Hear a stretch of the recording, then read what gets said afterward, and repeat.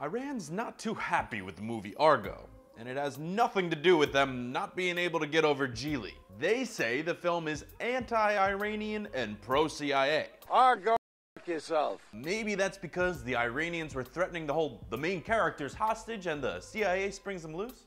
Hey everybody, I'm Patrick Jones for Buzz60. So, their feeling that the movie was full of inaccuracies now has an Iranian director looking to make his own version of a hostage scenario involving Americans held by Iranians. Really believe your little story is gonna make a difference when there's a gun to our heads. Although he's not really specific if it's the same Argo story. But they do intend to clear up some historical errors, What's your middle name? Leon? Shoot him. He's an American spy. which can only mean in a very confusing end to the film, the Iron Sheik defeats Hulk Hogan at WrestleMania. Buzz 60, now you know, pass it on.